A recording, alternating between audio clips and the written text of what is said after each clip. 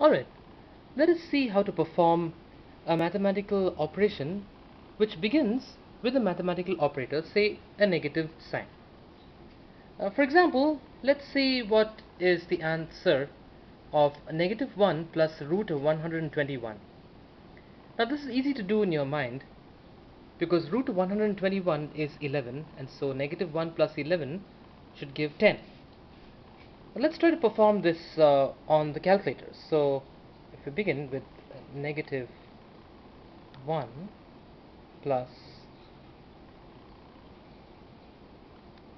root so I'll access the root by pressing the second function and the root here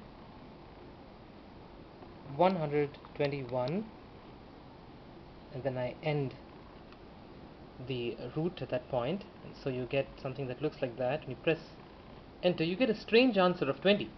Now why does this happen?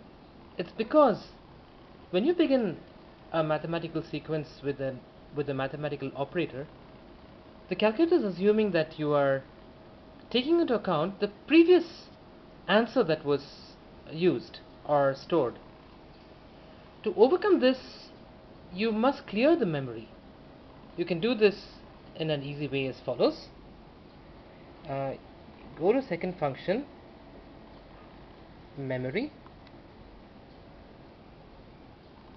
And you click you come down to reset. Press enter. Then it says reset all RAM. Press enter again. Come down one step and click enter. So it's now going to reset the RAM which simply means there is no stored memory and so this time if we do the same operation so negative 1 plus root 121 then you would get the answer that you expect which is 10